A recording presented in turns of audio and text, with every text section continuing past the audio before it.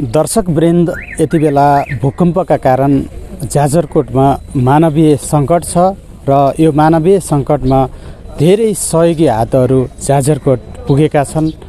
पतञ्जलि योगपीठ पनि जाजरकोटका भूकम्प प्रभावित क्षेत्र पुगेको छ र निशुल्क भोजन लगायत राहत सामग्री लिएर पतञ्जलि योगपीठले पनि जाजरकोटका भूकम्प पीडितलाई सहयोग गरिरहेको छ। सुरुमा हामीले सात सय आठ सयजनालाई हामीले खाना खुवायौँ।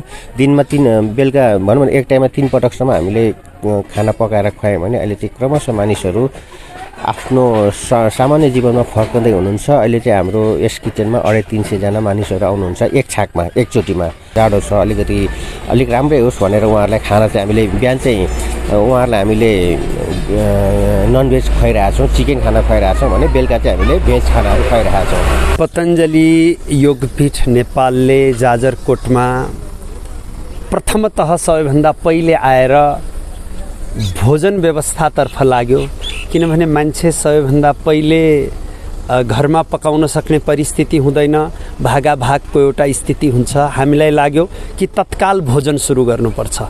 हामीले भोजन सुरु गऱ्यौँ भोजनलाई सुरुवात गरिसकेपछि त्यसपछि उसलाई आवश्यक अरू कुरोको आवश्यकता पर्छ भन्ने महसुस गरेर हामीले यो सबै योजना जिल्ला प्रशासन र नगरपालिकासँग समन्वय गरेर एक द्वार प्रणालीद्वारा यसलाई सञ्चालित। उहाँहरूले जुन जुन ठाउँमा पहिलो फेजमा हामी करिब दुई हजार राहत परिवारलाई पुग्ने गरी राहत सामग्रीलाई वितरण गर्छौँ र क्रमशः आवश्यकता अनुसार कार्यक्रमलाई अरू विस्तारित गर्ने योजना राखेका नेपाल के हमारे पतंजलि योग समिति के भाई बहन जहाँ उनके भोजन, वस्त्र आदि की व्यवस्था स्थानीय स्तर पर तो कर ही रहे हैं, नेपाल के भाई बहन भी उसमें मदद कर ही रहे हैं, परंतु हमने यहाँ से, हरिद्वार से पतंजलि इस परिसर से। आप देख सकते हैं कि लगभग ये आठ नौ ट्रक सामान जहाँ ये पचासों टन सामान जो उनके लिए आवश्यक है यहाँ भोजन का सामान है वो, कंबल है टेंट है यहाँ पर वर्तन भी हैं जो श्रद्धेय स्वामी जी के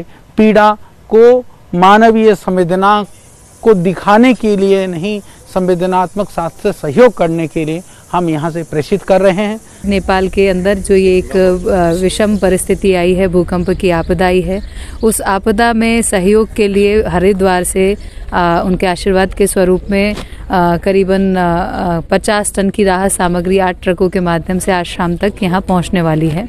और उसके वितरण के लिए अपना पतंज योग समिति, महिला पतंज योग समिति, युवा नेपाल समिति, ये तीन संगठन मिलकर के जो पतंज योगपीठ नेपाल के अंतर्गत कार्य करते हैं, उनके माध्यम से पूरे वितरण की तैयारी की जा रही है। इस विपद आपदा में हम जितना भी आगे आकर के सहयोग करें, उतना ही कम है।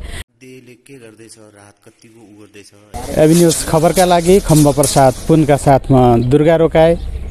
খালাঙ্গা জাজেরকোট